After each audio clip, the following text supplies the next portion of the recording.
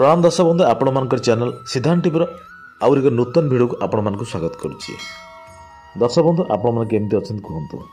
ଜଗନ୍ନାଥ ମହାପ୍ରଭୁ ଆପଣମାନଙ୍କୁ ଘଣ୍ଟ ଘୋଡ଼ି ରଖିଥାନ୍ତୁ। ସଦାସର୍ବଦା ସୁଖ ଦୁଃଖର ମିଶ୍ରଣରେ ଏକ ପ୍ରକାର ସୁଖରେ ଜୀବନଯାପନ କରନ୍ତୁ। ଏତିକି ଆପଣମାନଙ୍କୁ ଭଗବାନ ଆଶୀର୍ବାଦ ଦେଇଥାନ୍ତୁ। ଦର୍ଶକ ବନ୍ଧୁ ଆଜି ଜାଣିବା ଏମିତି ଏକ ବୃକ୍ଷ ଯାହା ଆପଣମାନେ ଜାଣିଛନ୍ତି ଏହା ସବୁ ଜାଗାରେ ମିଳେ ଆଉ ଏହାର ଉପକାରିତା ଏହାର ଉପକାରିତା ଏଭଳି ଭାବେ ଅଛି ଯେ ଯେ ଆପଣ ଶୁଣିଲେ ଆଶ୍ଚର୍ଯ୍ୟ ହୋଇଯିବେ। ଗଛଟିର ନାଁ ହେଉଛି ବଣ ଚାଖୁଣ୍ଡା। ଏହି ଚାଖୁଣ୍ଡା ଗଛଟି ଦେଖନ୍ତୁ ଛୋଟ ଛୋଟ ଏଇଭଳିଆ ହଳଦିଆ ଫୁଲ ହୋଇଥାଏ ଛୋଟ ଛୋଟ ପତ୍ର ପତ୍ର ହୋଇଥାଏ ଏବଂ ଛୁଇଁ ଭଳି ତାର ଯେଉଁ ଫଳରା ଏମିତି ଛୁଇଁ ଭଳି ଦେଖିବାକୁ ହୋଇଥାଏ ଏହାକୁ ଆମେ ବଣ ଚାଖୁଣ୍ଡା ବୋଲି କହିଥାଉ। ଏହାର ବେଶୀ ବଡ଼ ହୋଇନଥାଏ ଛୋଟ ଗଛ ହୋଇଥାଏ ପ୍ରାୟ ଅତି ବେଶୀ ହେଲେ ଚାରି ଫୁଟ ପାଞ୍ଚ ଫୁଟ ପାଖାପାଖି ଗଛଟି ହୋଇଥାଏ।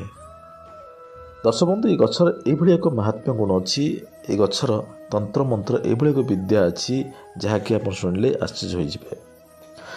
ଯଦି ଆପଣ ଜୁଆ ଖେଳରେ ଯେଉଁ ଜୁଆ ଖେଳ ବା ସଟ୍ଟା ଖେଳରେ ଆପଣ ଜିତିବାକୁ ଚାହୁଁଛନ୍ତି ଏ ବିଦ୍ୟାଟି ଯେଉଁ ଆପଣଙ୍କୁ କହିବି ଏ ଗଛଟିକୁ ଯଦି ଆପଣ ମୋ କଥା ଅନୁସାରେ ବ୍ୟବହାର କରିବେ ଆପଣ କର୍ମରେ ଲଗାଇବେ ତାହେଲେ ନିଶ୍ଚିନ୍ତ ଭାବେ ମୁଁ ଭାବିବି ମୁଁ ଯେଉଁ ଉପାୟଟି କହିଲି ନିଜକୁ ଧନ୍ୟ ହୋଇଗଲି ଆପଣମାନେ ସେଇ ଉପାୟଟା କରିବେ। ଉପାୟଟା ହେଉଛି ଯେ ସଟା ଖେଳ ଜୁଆ ଖେଳ ଯେଉଁଟା ଜାଣିଛନ୍ତି ଏହା ଏକ କ୍ଷତିକାରକ ଆମର ଜୀବନ ପାଇଁ କ୍ଷତିକାରକ ହୋଇଥାଏ। ଏହାର ନିଶା ହେଲେ ଏହାର ସଂସ୍ପର୍ଶରେ ଆସିଥିବା ବ୍ୟକ୍ତି ସଦାସର୍ବଦା ଆପଣମାନେ ଅଭାବ ରହିଥାନ୍ତି ବା ଆପଣଙ୍କର ଅଶାନ୍ତି ସୃଷ୍ଟି ହୋଇଥାଏ। ତେଣୁ ଏହା ଏକ ଖରାପ ଏହାକୁ ଏହା ଖେଳିବା ଦ୍ୱାରା ଆପଣମାନଙ୍କର ସଦାସର୍ବଦା ପାରିବାରିକ ଝଡ଼ ହୋଇଥାଏ ଏବଂ ପାର୍ଶ୍ୱବର୍ତ୍ତୀ ଅଞ୍ଚଳରେ ଆପଣଙ୍କର ଏ ପ୍ରକାର ଅସମ୍ମାନିତ ହୋଇଥାଏ। ତେଣୁ ଏହି ଯେଉଁ ଉପାୟଟି କେବଳ କହିବାର କାରଣ ହେଉଛି ଯଦି ଏହି ଭୁଲ ବାଟରେ ଆପଣ ଯାଇଛନ୍ତି ଭୁଲ ରାସ୍ତାରେ ଯାଇଛନ୍ତି ଆପଣ ହାରିଛନ୍ତି ସବୁବେଳେ ହାରି ଯାଇଛନ୍ତି ଅଶାନ୍ତିରେ ଅଛନ୍ତି କେବଳ ଆପଣ ଥରେ କି ଦୁଇଥର ମାତ୍ରକୁ ବ୍ୟବହାର କରିବେ ଯାହାକି ସଦାସର୍ବଦା ଆପଣଙ୍କର ଲସ୍ ହୋଇଯାଇଥିବା ଯେଉଁ ଧନ ସେ ଆପଣଙ୍କର ଆସିପାରିବ।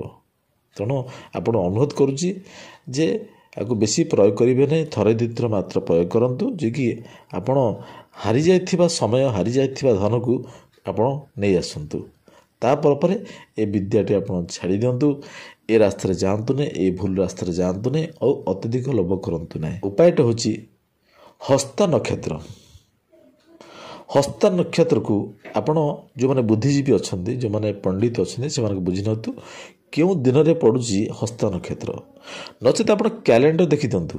ହସ୍ତା ନକ୍ଷତ୍ର ମନେ ରଖନ୍ତୁ ହସ୍ତା ନକ୍ଷତ୍ର ବାସ୍। ଏ ଦିନକୁ ଆପଣ ମନେ ରଖିଲେ ସେ ଦିନର ପୂର୍ବ ଦିନଟି।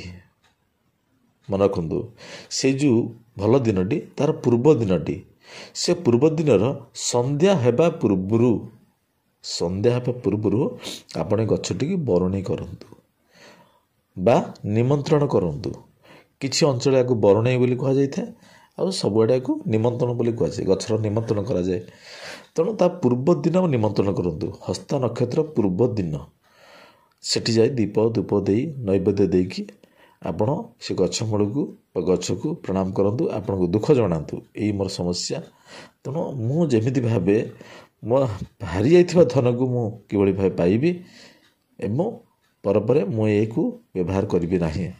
ତେଣୁ ଆକୁ ଥରେ କିମ୍ବା ଦୁଇଥର ବ୍ୟବହାର କରି ଆପଣ ଫେରି ଯାଇଥିବା ଧନକୁ ପାଆନ୍ତୁ ଏବଂ ପରିବାରକୁ ଶାନ୍ତ ରଖନ୍ତୁ ଶାନ୍ତିରେ ରୁହନ୍ତୁ ଭଗବାନଙ୍କର ଆଶୀର୍ବାଦ ପାଆନ୍ତୁ ବୋଲି ଏତିକି କହି ଧୂପ ଦୀପ ଦେଇ ଗଛଟିକର ଚେରକୁ ନେଇ ଆସନ୍ତୁ। ତାକୁ ଭଲ ଭାବେ ସଫା କରିକି ଆପଣ ଠାକୁର ପାଖରେ ରଖନ୍ତୁ। ଅତି କମ୍ରେ ଅଠଚାଳିଶ ଘଣ୍ଟାର ଉର୍ଦ୍ଧ୍ୱ ଠାକୁର ପାଖରେ ରଖି ଆପଣ କର୍ମରେ ଲଗାଇବାକୁ ଯାଆନ୍ତୁ। ଯେବେ ଆପଣ ଯେ ଅଠଚାଳିଶ ଘଣ୍ଟା ବାଦେ ଯେତେ ଦିନ ଅଧିକ ହେଲେ ଭଲ ମାନେ ତିନି ଦିନ ଚାରି ଦିନ ଅଧିକ ହେଲେ ଭଲ ଆପଣ ତରତର ହେଇକି ବ୍ୟସ୍ତିଆ ହେଇକିରି ଯେ ରଖିଦେଲି ଆଉ ନେଇଯିବେ ନାହିଁ ତେଣୁ ତାକୁ ସମୟ ଦିଅନ୍ତୁ ଟିକେ ଯେଉଁ ଠାକୁର ଘରେ ରଖି ପାତ୍ର ରଖି ଆଲୁ କଣ୍ଡାରେ ଗୋଳେଇ ସେଟାକି ଦୀପ ଦୀପ ପୂଜା ଅର୍ଚ୍ଚନା କରନ୍ତୁ। ପରେ ପରେ ସେ ଚେରକୁ ଆଣନ୍ତୁ। ସେ ଚେରକୁ ଏକ ରୂପା ତାବିଜରେ ଭର୍ତ୍ତି କରିବାକୁ ପଡ଼ିବ। ରୂପା ତାବିଜ ଭର୍ତ୍ତି କରିକି ସେଠାରେ ବାର କୌଣସି ନଥାଏ ଯେକୌଣସି ବାର ହେଇପାରିବ। ତାକୁ ଟିକେ ଦୀପ ଦିଅନ୍ତୁ ଝୁଣା ଧୂପ ଦିଅନ୍ତୁ। ଝୁଣା ଧୂପ ଦେବେ। ଝୁଣା ଧୂପରେ ତାକୁ ଆହୁଲେଇକିରି ବା ତାକୁ ରଖି ଅଧିକ ଧୂପ ଦେଇକିରି ତାପରେ ସେ ତାବିଜ ରଖନ୍ତୁ ନାଲି ସୂତାରେ ବାନ୍ଧିକିରି ବେକରେ ବା ହାତରେ ଆପଣ ଲଗାନ୍ତୁ। ଲଗାଇ ସାରିଲା ପରେ ଆପଣ ସଟ୍ଟା ଖେଳ ବା ଜୁଆ ଖେଳ ଯାଆନ୍ତୁ। ଦେଖିବେ ସଫଳ ନିଶ୍ଚିନ୍ତ ଭାବରେ ହେବ ମୁଁ ଖାଲି ଏତିକି ଅନୁରୋଧ କରିବି ଯେ ଆପଣ ବେଶୀ ବ୍ୟବହାର କରିବେ ନାହିଁ। ଅଳ୍ପ ବ୍ୟବହାର କରନ୍ତୁ ମାତ୍ର ଥର କି ଦୁଇଥର। ଆପଣ ହାରି ଯାଇଥିବାକୁ ପଇସା ପାଇଯାଆନ୍ତୁ। ଏହି ଉପାୟଟା କରନ୍ତୁ ଦେଖିବେ ନିଶ୍ଚିନ୍ତ ଭାବେ ସଫଳ ହେବେ। ଏ ଗଛରେ ଆଉ ଟିକେ ମହତ୍ତ୍ୱ ଆପଣ ଅଛି ଚେରମୂଳି ଆଉ ଆଗାମୀ ଭିଡ଼ିଓରେ ଆପଣମାନଙ୍କୁ କହିବି। ତଥାପି ଏଇଠି କହିଦେଉଛି ଯେ ଅତି ଆପଣଙ୍କର ଆବଶ୍ୟକ ଯେଉଁ ଏମର୍ଜେନ୍ସିରେ ଦରକାର ହୋଇଥାଏ ହଠାତ୍ ଆପଣଙ୍କର ବିଛା କାମୁଡ଼ି ଦେଲା ଯଦି ବିଛା କାମୁଡ଼ିଛି ଆମେ ବ୍ୟସ୍ତ ହେଇ ପଡ଼ିଥାଏ। ତ କିଛି ନାହିଁ ସାଙ୍ଗେ ସାଙ୍ଗେ ଗଛକୁ ଉପାଡ଼ି ନେଇ ଆସୁ ଏ ଗଛର ପତ୍ରକୁ ଭଲ ଭାବେ ମକଚିକି ସେଇ ରସକୁ ସେ ଜାଗାରେ ଦେଇ ଦିଅନ୍ତୁ। ରସ ଦେଇଲା ପରେ କିଛି ପତ୍ର ସେ ଯେଉଁ ହାତରେ ମକଚିଥିବେ ତାକୁ ସେ ଜାଗାରେ ଦେଇକି ଆପଣ ଗୋଟେ ସଫା କପଡ଼ା ବାନ୍ଧି ନିଅନ୍ତୁ ସେଭଳି ଆପଣ ଯେଉଁ ଯାଦୁ କାଛୁ ଅଛି ଏ ୟାର ପତ୍ରକୁ ଆପଣ ଆଣିକି ମକଚିକି ସମାନ ପରିମାଣରେ ଗନ୍ଧକ ଏବଂ ଲେମ୍ବୁ ରସ ମିଶି ୟାକୁ ବାରମ୍ବାର ଲଗାଇଲେ ମାସେ ଖଣ୍ଡେ ଦୁଇ ମାସ ଖଣ୍ଡେ ଲଗାଇଲେ ଏ ଯେଉଁ ଆପଣ ଯେଉଁ ଯାଦୁ ହେଉଛି ଯାଦୁ ସେ ଯାଦୁ ଭଲ ହୋଇଥାଏ। ଆପଣଙ୍କ ଯଦି ମହୁମାଛି ହଠାତ୍ କାମୁଡ଼ିଦେଲା ବିରୁଡ଼ି କାମୁଡ଼ି ଦେଲା ଏସବୁ ପାଇଁ ଆପଣ ହଠାତ୍ ଯଦି କୌଣସି ମେଡ଼ିସିନ ନାହିଁ ଆପଣଙ୍କର ସମୟ ନାହିଁ ବା ଯିବା ପାଇଁ ସେ ସକ୍ଷମ ହେଇପାରୁନାହାନ୍ତି ତେଣୁ ପ୍ରଥମେ ୟାକୁ ବ୍ୟବହାର କରନ୍ତୁ ସାଙ୍ଗେ ସାଙ୍ଗେ ଚକଟିକିରି ହାତରେ ମକଚିକି ସେ ଜାଗାରେ ଲଗାଇ ଦିଅନ୍ତୁ। ତାପରେ ଆପଣ ଅନ୍ୟାନ୍ୟ ଔଷଧ ବ୍ୟବହାର କରିପାରିବେ କିନ୍ତୁ ଏଥିରେ ନିଶ୍ଚିନ୍ତ ଭାବେ ଭଲ ହୋଇଥାଏ।